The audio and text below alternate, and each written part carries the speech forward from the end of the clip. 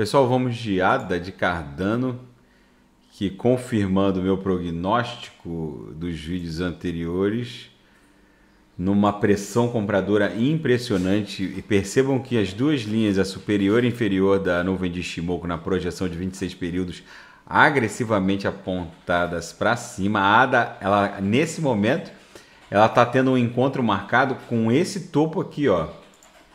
Com esse topo aqui em 1.94, que impôs essa correção brutal aqui, ó, até que impôs a correção até 1.05. Então, o mercado ele tem memória, ele sabe que esse topo gerou toda essa correção. A ADA nesse topo aqui ela vai congestionar e vai e vai transpassar, porque ela vai ela não vai ter nem atingido a metade do nosso canal virtual de alta, ela vai estar tá mais ou menos aqui, ó.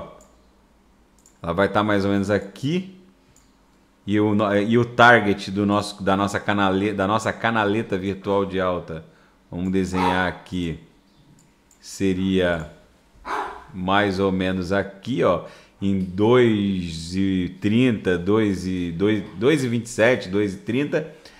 A, a, a ADA vai, vai superar esse 1,94, vai congestionar, porque o mercado vai lembrar dessa mega correção. O mercado tem memória e tendência ela deve dar uma congestionada. Então, a próxima resistência relevante da ADA é 1,94 nesse topo aqui, mais recente e mais impactante, vamos colocar assim. Esse, essa região de 1,80 ela já está superando. É bem capaz dela bater 1,94, dar uma recuada para 1,80 e pegar embalo para e pegar embalo para ir para o topo dessa nossa canaleta virtual de alta e ter um encontro marcado com o all-time high em 2,47. A ADA num franco movimento ascendente. Essa realidade se reflete aqui no squeeze, que já ainda, onde está se abrindo a primeira, segunda, terceira, quarta, quinta onda de caráter comprador subsequente. O mesmo se reflete no MACD, onde ambas as linhas exponencial curta e lenta se fixaram já na banda superior da métrica, com uma abertura aqui, ó, de já uma amplitude ondular compradora que pode ficar interessante para tentar romper esses topos aqui e essas regiões congestionais às quais eu me reportei. Pessoal, a ADA cruzou com muita intensidade a MM200 e obviamente ela vai enfrentar aqui resistência em razão desses últimos topos né? nessa região entre 1.94 e 1.80.